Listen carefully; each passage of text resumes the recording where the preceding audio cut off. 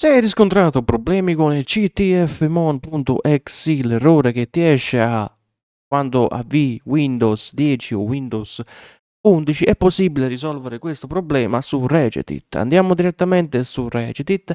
In descrizione ti ho lasciato pure vari comandi da inserire nel programma editor del registro di sistema. Fai esegui come amministratore. In descrizione ti ho lasciato così il percorso file per entrare direttamente in queste cartelle.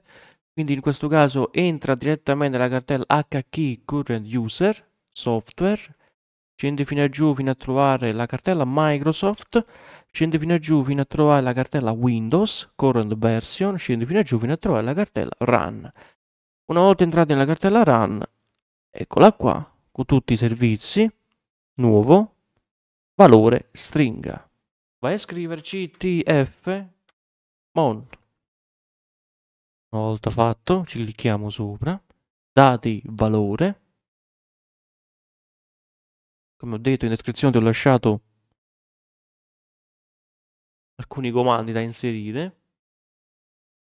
Direttamente che si collega alla cartella System32 di Windows. Dati valore e fai ok. Una volta fatto abbiamo inserito.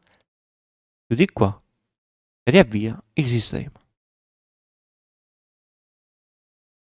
Se hai altri problemi riguardo all'errore CTF Mon fammelo sapere sotto al video, commenta, iscriviti, lascia like e grazie per questa visione. Ciao!